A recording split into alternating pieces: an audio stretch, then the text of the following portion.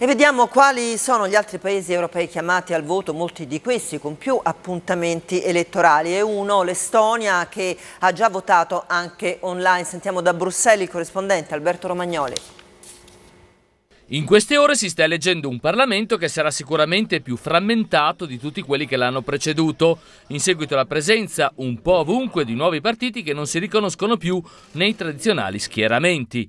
Divisioni che teme qualcuno potrebbero finire per paralizzarlo oppure obbligarlo, sperano altri, a un confronto più concreto sulle cose da fare, a diventare insomma un Parlamento davvero più politico e meno burocratico.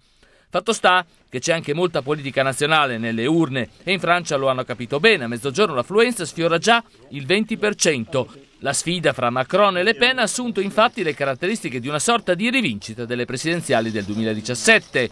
In Grecia le europee fanno da prologo alle politiche, Tsipras cerca di invertire il trend dei sondaggi, per ora sfavorevoli alla sua permanenza al governo, dove invece ben saldo in Ungheria Viktor Orban, il paese conta meno dell'1% del PIL europeo, eppure la sua voce si farà sentire nel dibattito già previsto martedì sera al Consiglio europeo sulle nomine ai vertici di Commissione, Parlamento e Banca Centrale Europea. Quasi ovunque si continua a votare con carta e penna, il voto elettronico convince solo gli estoni, tutti gli altri hanno ancora dubbi sulla sua sicurezza.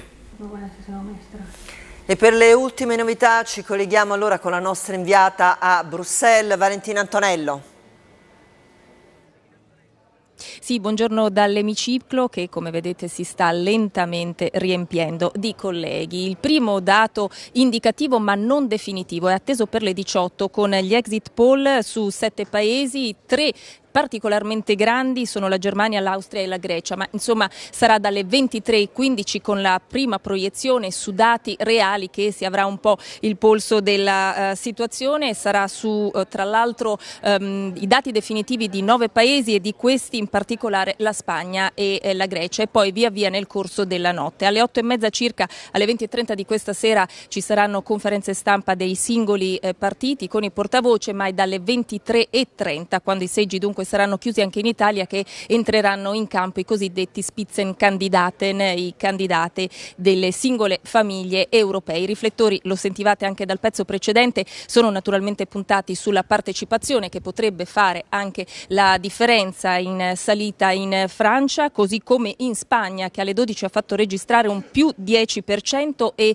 in Slovenia un più 7%. In caduta invece in Croazia che chiuderà le urne alle 19. Una curiosità, mentre vi parliamo, a Fiumicino stanno arrivando le schede con il voto degli italiani all'estero. Per il momento da qui è tutto, vi ricordiamo naturalmente gli aggiornamenti nel corso dello speciale in onda a partire dalle 22.50, questa sera invece telegiornale dallo studio Agora dell'Europarlamento. A più tardi.